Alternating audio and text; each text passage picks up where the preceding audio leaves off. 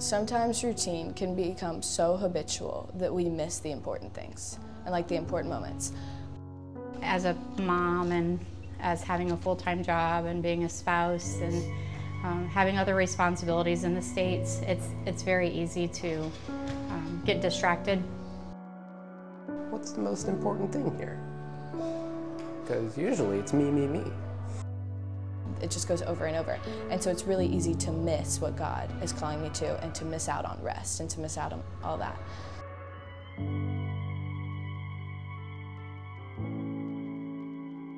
It just helps to like break up what you do every day and go um, experience what God is calling others to and maybe even calling you to.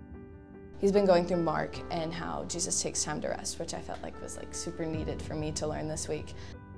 Learning how Jesus walked away from the disciples to pray and how we need to follow that example.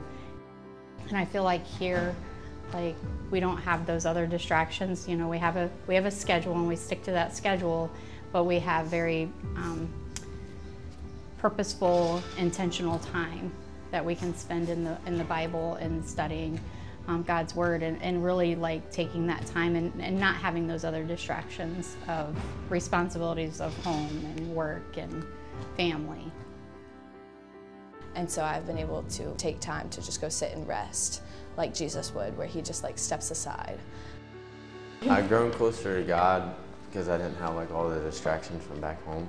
I could just spend time in the Word and not have to think about like doing this and doing that.